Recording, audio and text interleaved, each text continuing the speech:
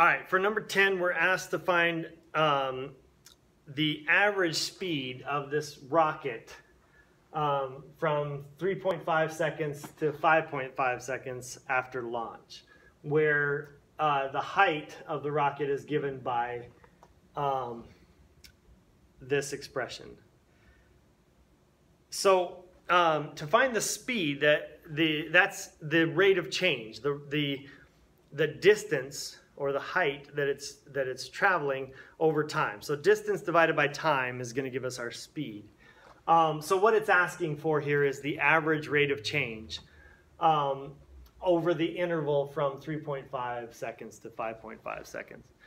And remember, uh, to find average rate of change, that's going to be uh, h of x2 minus h of x1 divided by x2 minus x1 where uh, x1 is our is the smallest number on our interval x2 is the largest number on the interval.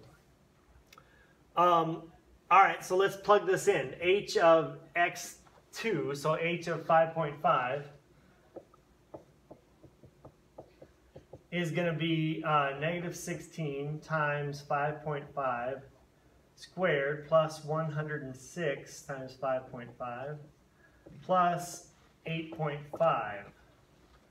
And then we're going to want to know h of 3.5. So negative 16 times 3.5 squared plus 106 times 3.5 plus 8.5. Um, let's plug that into the calculator. So we've got uh, negative 16 times 5.5 squared plus 106 times 5.5 plus 8.5. This is going to be equal to 107.5. All right, and then the other one, we've got uh, negative 16 times 3.5 squared plus 106 times 3.5 plus 8.5. This is um, 183.5. All right, so now um, let's take h of x2, that's 107.5, minus h of 3.5, which is 183.5, and divide that by 5.5 minus 3.5.